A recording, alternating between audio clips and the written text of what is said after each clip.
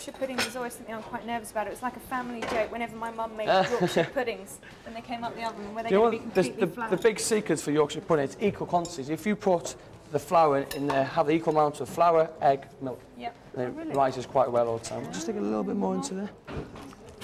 Nothing wrong with that. Lovely yellow eggs. Yeah, great eggs. So again, like the pancake mix yesterday, you have to let this rest. Any batter we okay. make has to be rested. So Yeah, we have one Yorkshire puddings, it's something you do. here.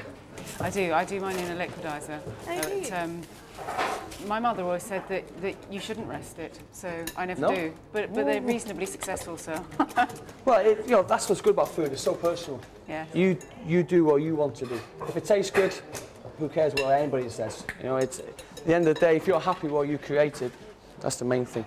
So Yorkshire pudding, you know, a very very hot container is the key for Yorkshire pudding to, to get them rising. So here I have a nice hot dish. Ah, so we're doing one massive Yorkshire One pudding. big one Yorkshire pudding. You could even, you'll see at the end, you, you, could, you could dress this two ways. It's entirely up to you how you want to dress it. Because it's quite nice to do them in muffin tins sometimes Yes, well, a small one. But classically, a Yorkshire pudding was served, everything was served inside the roast beef, the carrots, Yes. everything was in one big Yorkshire pudding. So this is just beef dripping, just getting nice and hot in the oven, smoking hot. In with the, the batter mix, that's the noise we want to hear. So it's instantly start to cook. it? You're a very relaxed cook. You do make it look easy, doesn't it?